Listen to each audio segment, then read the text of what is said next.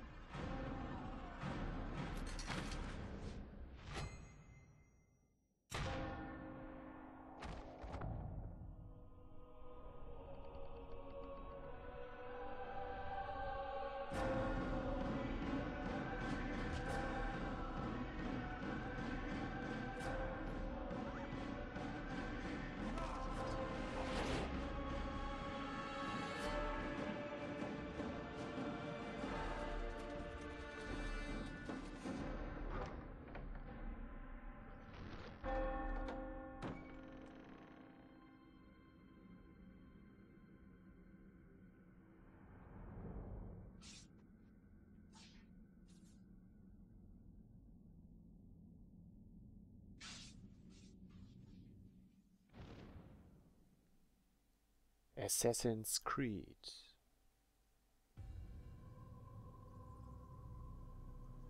Beliebige Taste drücken. Profil wählen. Neues Profil erstellen. Warte auf Eingabe.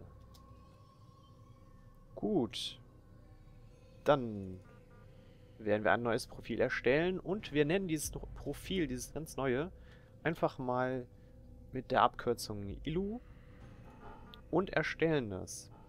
Und wir haben noch gar keinen neuen, gar keinen Spielstand, deswegen, wie ihr seht, müssen wir neu anfangen. Und das ist auch gut so. Und ähm, ja, damit begrüße ich euch auch zu einer neuen Ausgabe, hätte ich schon fast gesagt. Ähm, es ist ja eigentlich keine neue Ausgabe, sondern ein neues Let's Play. Also mein neues Projekt ist das jetzt hier. Wir spielen Assassin's Creed. Und zwar ist das jetzt hier der allererste Teil der Assassin's Creed-Reihe. Es gibt ja inzwischen schon sehr viele Teile. Und ähm, derzeit das aktuelle ist ja Assassin's Creed Revelation, was ich auch noch vorhabe anzuspielen. Aber da die Reihe natürlich lang ist und ähm, für das bessere Verständnis habe ich mich dazu entschieden, einfach mit Assassin's Creed 1 anzufangen, dass wir uns dann ähm, in der Story nach und nach durcharbeiten. Das heißt, wir werden mit Assassin's Creed 1 anfangen, machen dann also weiter mit Assassin's Creed 2, anschließend Brotherhood und Assassin's Creed Revelation. Und äh, wenn wir Glück haben oder auch nicht, können wir vielleicht auch Assassin's Creed 3 dann im Anschluss ein bisschen Let's Playen. Je nachdem, wann es jetzt rauskommt. Ich weiß auch nicht, wie lange das jetzt mit den ähm, Assassin's Creed Teilen dauern wird. Wie viele Folgen wir haben werden. Steht im Moment noch alles in den Sternen, sag ich mal. Und ähm, bevor wir anfangen, ich habe noch nicht reingeguckt, wie das alles hier ausschaut. Ähm, Gehe ich mal kurz in die Grafikoptionen und schaue erstmal hier. Die Schatten sind 3 von 3. Grafikeffekte sind An-Auflösung 1920 x 1080, also eine recht hohe Auflösung. Vertikale Synchronisation mache ich einfach mal an, denke ich. Ähm, Grafikqualität ist 4 von 4, das ist super. Details sind voll. Helligkeit sind 5 von 10. Ich denke, das ist auch in Ordnung. Multisampling können wir nicht auswählen, warum auch immer. Dann übernehmen wir das mal. Ihre Grafikanzeige wurde neu konfiguriert. Möchten Sie diese Einstellung behalten? Jawohl. Das wollen wir. Gut, dann können wir zurück. Die Steuerung ändern, ähm, die lassen wir, denke ich, erstmal so. Gehen wir zurück und starten ein neues Spiel.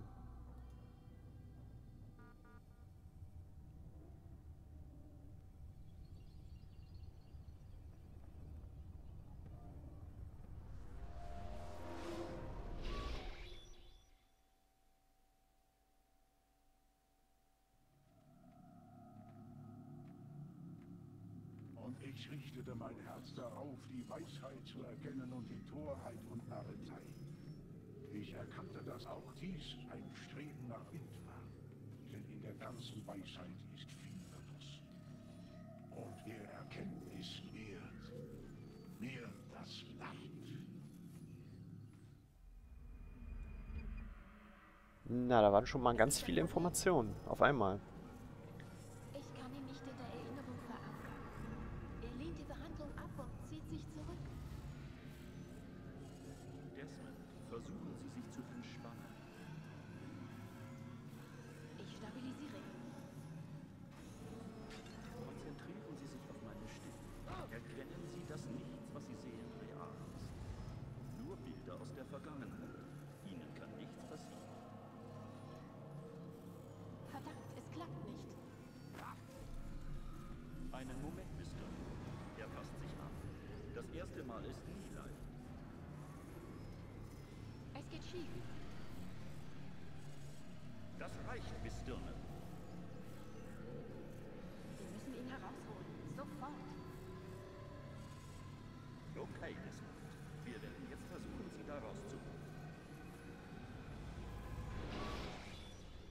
Ich würde ja gerne die Tooltips vorlesen, aber die sind ja so schnell weg. Äh, so schnell kann ich gar nicht vorlesen. Sagte doch, dass ihm nichts passiert. Schweine! Na, na. Ich habe gerade Ihr Leben gerettet. Mein Leben gerettet? Sie haben mich entführt, mich an dieses Ding angeschlossen. Animus. Es ist ein Animus. Ich kenne Sie noch nicht einmal. Warum tun Sie mir das an? Sie haben Infos, die wir benötigen, Mr. Miles. Informationen? Ich bin ein Barkeeper, verdammt. Was wollen Sie von mir? Lernen, wie man einen Martini mixt? Wir wissen, wer Sie sind. Was Sie sind. Ich weiß nicht, wovon Sie reden. Spielen Sie nicht den Dummen. Wir haben keine Zeit. Sie sind ein Assassine. Und ob es Ihnen klar ist oder nicht, Sie besitzen etwas, das meine Arbeitgeber haben wollen. Es ist tief in Ihrem Kopf verborgen. Aber ich bin kein Assassine. Nicht mehr. Ja, das steht auch in unseren Akten. Irgendwas von einer Flucht. Sehr zum Glück für uns. Was wollen Sie von mir? Dass Sie tun, was wir Ihnen sagen. Der Animus wird uns helfen zu finden, was wir suchen. Wenn wir es haben, können Sie gehen. Ich gehe da nicht wieder rein. Dann legen wir Sie ins Koma und machen alleine weiter. Und wenn wir fertig sind, lassen wir Sie sterben. Ehrlich gesagt, der einzige Grund, dass Sie noch bei Bewusstsein sind, ist, dass es uns viel Zeit erspart. Sie sind verrückt? Also was nun, Mr. Miles? Leben oder sterben? Legen Sie sich hin. Beliebige Taste drücken, um zu interagieren. Na gut. Eine weise Entscheidung. Das wirst du noch bereuen, Opa. Wo. Wo bin ich? Im Innern des Animus. Das heißt? Ein Projektor, der genetische Erinnerungen in 3D erzeugt. Genetische Erinnerung? Scheinbar brauchen Sie eine Art Einweisung. Nun gut. Wir fangen ganz einfach an. Was ist eine Erinnerung, Mr. Miles? Eine Aufbereitung früherer Ereignisse. Spezifisch für die Person, die sich daran erinnert. Ja, sicher. Was, wenn ich Ihnen sagen würde, dass ein Mensch nicht nur seine individuellen Erinnerungen besitzt, sondern auch die seiner Vorfahren? Genetische Erinnerungen, Wanderung, Winterschlaf, Fortpflanzung. Woher wissen Tiere, was sie wann und wo tun sollen? Das ist der Instinkt. Jetzt streiten wir uns um Worte, Mr. Miles. Wie Sie es auch nennen. Die Tatsache bleibt, diese Wesen verfügen über Wissen, das in ihrer individuellen Erfahrung nicht enthalten ist. Ich habe 30 Jahre gebraucht, um zu verstehen, warum. Ich habe etwas Faszinierendes entdeckt. Unsere DNS fungiert als Archiv. Sie enthält nicht nur genetische Baupläne von früheren Generationen, sondern auch deren Erinnerungen. Die Erinnerungen unserer Vorfahren. Und der Animus lässt sie diese DNS-Daten dekodieren und lesen. Exakt. Aber es geht nicht. Das ist die Erinnerung, auf die wir zugreifen möchten. Aber wenn wir versuchen, sie zu aktivieren, zieht sich ihr Geist zurück. Ihnen fehlt das Vertrauen, in den Körper ihres Ahnen zu schlüpfen. Das ist auch eben passiert. Sie wurden aus der Zielerinnerung gestoßen und kehrten zurück in einen stabileren Zustand. Warum? Ihr Unterbewusstsein. Es wehrt sich. Wir haben ähnliche Reaktionen bei Patienten festgestellt, die hypnotisiert werden, um traumatische Vorfälle wieder zu erleben. Wir müssen vorsichtig sein. Und auch dann gibt es Probleme. Und was machen wir jetzt? Wir finden eine Erinnerung, die Sie akzeptieren können. Sie werden sich daran gewöhnen. Langsam aber sicher. Noch näher kommen wir nicht ran. Also müssen wir hier anfangen. Ich lade jetzt das Einführungsprogramm. Nun gut. Dann fangen wir mal an.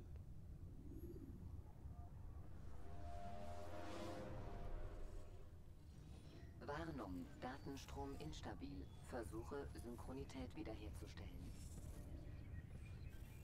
Hallo, Subjekt 17. Dieses Tutorial wurde erstellt, damit Sie sich besser mit der Steuerung des Animus vertraut machen können. Anweisungen folgen in Kürze. Der Synchronitätsbalken zeigt, wie synchron Sie mit den Erinnerungen Ihres Ahnen sind. Falls Sie jemals asynchron werden, stellt der Animus die letzte synchrone Position wieder her. Es droht eine komplette Desynchronisierung. Bitte befolgen Sie die kommenden Anweisungen, um die Systemstabilität wiederherzustellen. Der. Animus benutzt ein Puppenspielerkonzept, um die Aktionen Ihres Ahnen zu steuern. Ich lade Subroutinen, um die Anpassung Ihres Körpers an den Animus zu überprüfen. Wir beginnen damit, die Standardaktionen aller Eingaben kennenzulernen. Okay. Wenn Sie stillstehen, benutzen Sie die Kopftaste, um Ihre Umgebung zu erkunden.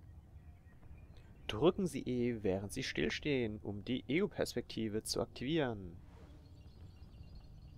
Umsehen, sehen Sie sich um und betrachten Sie die Leute in Ihrer Umgebung. Gut. Nutzen Sie nun Ihre leere Hand, um durch die Krugträger zu gelangen, ohne dass Sie Ihre Krüge fallen lassen. Drücken und halten Sie Umschalt. Um. Ja, ja, ja, ja, ich sehe es ja schon. Oh. Hm, ja, gut. Okay, dann probieren wir mal mit Umschalt drücken. Vorsicht. Vorbei. Gut gemacht. Der Animus unterscheidet zwischen zwei unterschiedlichen Modi. Unauffällig und auffällig. Unauffällige Aktionen sind sozial akzeptabel. Auffällige Aktionen sind eher actionorientiert. Halten Sie die Modustaste auffällig gedrückt, um zu sehen, wie Ihr Heads-Up-Display den Kontext der Puppenspieler-Eingaben verändert. Ähm. Okay. Taste 1. Was ist denn Taste 1? Ist es die linke Maustaste oder die rechte? Exzellent. Ach, die rechte. Okay. Bisschen eigenartig hier mit den Wir ähm, Zeichen. die Synchronisierung fort, indem wir einige auffällige Aktionen testen. Greifen und werfen Sie dieses Individuum gegen die Markierung, indem Sie die leere Handtaste im auffälligen Modus benutzen. Okay. Dann gehen wir mal auf den Typen zu Gut. Und werfen ihn mal ein bisschen. Benutzen Sie die Beintaste im auffälligen Modus, um zu sprinten. Sprinten ist sehr nützlich, um zu fliehen oder ein flüchtendes Ziel einzuholen. Passen Sie aber auf, nicht mit jemandem zusammenzustoßen. Drücken und halten Sie Taste und 1 zu Boden fallen. und die Leertaste Sprinten anscheinend. Und erreichen Sie die Markierung vor diesem Mann. Ah ja. Gut. Dann los. Ach. Das war ein bisschen falsch. Ich glaube, das war normales Laufen.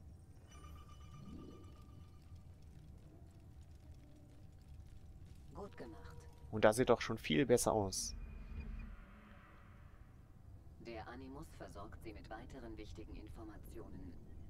Das Symbol sozialer Status gibt Ihnen Aufschluss über Ihren Zustand. Die unterschiedlichen Zustände werden bald im Kontext erklärt. Dieses Symbol erscheint, wenn ein Soldat Sie ansieht. Die gelbe Farbe bedeutet, dass der Soldat sich ihrer entweder nicht bewusst oder misstrauisch ist. Um die Zustandsänderung zu illustrieren, greifen Sie diesen Soldaten nun unauffällig an. Schalten Sie ihn zunächst als Ziel auf. Drücken Sie F, um ein Ziel zu erfassen. Nun wählen Sie Ihre verborgene Klinge. Drücken Sie die 2, um die versteckte Klinge auszuwählen. Und da unten Gehen haben wir ein Waffenrad. ausgewählter Klinge zu dem Soldaten und drücken Sie auf die Waffenhandtaste, um ihn zu töten. Drücken Sie in der Nähe eines Soldaten Taste 0, um ihn zu töten.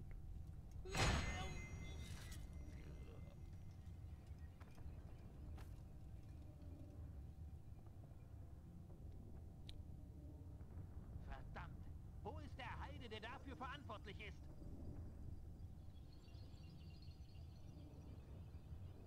Der Heide steht hier drüben. Die Leiche hat den Soldaten alarmiert und seinen Zustand auf informiert geändert, wie die rote Zeugenanzeige zeigt. Aggressive Aktionen und sozial inakzeptables Verhalten werden nun höchstwahrscheinlich zu einer bewaffneten Reaktion führen. Provozieren Sie den Soldaten. Provozieren. Ja, womit denn? Mit zu nahe kommen?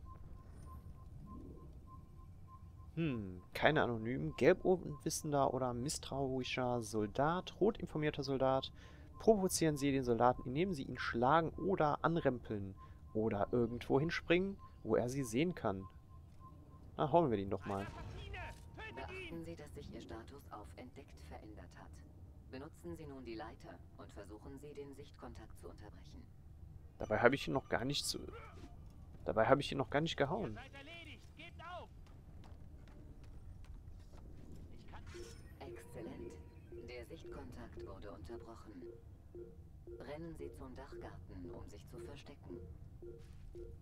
Ein ziemlich ausführliches Tutorial. Ihr Status zeigt an, dass Sie versteckt sind, aber der Soldat immer noch nach Ihnen sucht. Warten Sie, bis sich Ihr Status erneut ändert. Sozialer Status. Untertauchen blau. Soldaten suchen nach ihnen, aber sie sind versteckt. Warten Sie bis... Der Soldat hat Ihre Spur verloren. Sie sind wieder anonym und Na können gut. Ihr Versteck verlassen. Verlassen Sie Ihr Versteck. Exzellent. Durch Anonymität füllen Sie Ihren Synchronitätsbalken und erleichtern sich Ihre Aufgaben als Assassine. Es gibt verschiedene Orte, an denen Sie sich verstecken können. Aber Sie müssen immer den Sichtkontakt unterbrechen, bevor Sie in einem Versteck verschwinden können. Also einer Bank, einem Heuhaufen und zu einem... Ähm, ja, was soll es sein? Kleingarten. Ha. Und ein paar Mönchen oder... Ja, sind wohl ein paar alte Mönche. Sehen wir uns nun das Untertauchen an. Mit der Beintaste im Modus unauffällig können Sie untertauchen. Sie können einen Gelehrten imitieren, um unbemerkt an Soldaten vorbeizukommen. Tun Sie das jetzt, um die Markierung hinter dem Soldaten zu erreichen. In Ordnung. Drücken und halten Sie beim Gehen die Leertaste, um unterzutauchen. Soldaten mit gezogenem Schwert sind über ihre Anwesenheit informiert. Tauchen Sie unter, um zur Markierung zu gelangen, ohne Aufmerksamkeit zu erregen. Nun gut.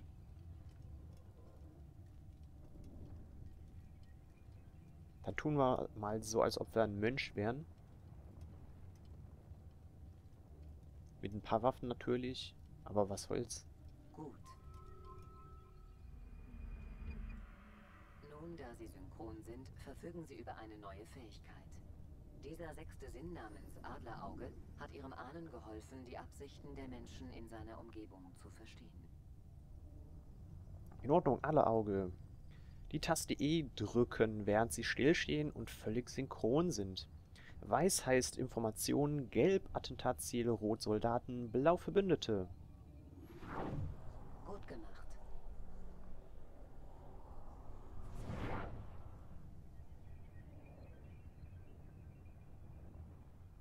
Und ich glaube, wir sind durch mit dem Tutorial. Das Oder? Auge steht Ihnen nur zur Verfügung, wenn Sie völlig synchron sind. Bedenken Sie, um synchron zu bleiben, sollten Sie dem Credo der Assassinen, der Lebensart Ihres Ahnen folgen. Das Credo hat drei Gebote. Erstens, verletzen Sie nie einen Unschuldigen. Zweitens, bleiben Sie diskret. Drittens, gefährden Sie die Bruderschaft nicht. Wenn Sie an Synchronität verlieren, können Sie diese wiederherstellen, indem Sie Schlüsselmomente im Leben Ihres Ahnen nachempfinden oder indem Sie das Credo befolgen. Sie haben das Tutorial erfolgreich beendet. Na, Der endlich. Gedächtnisabschnitt wird nun geladen.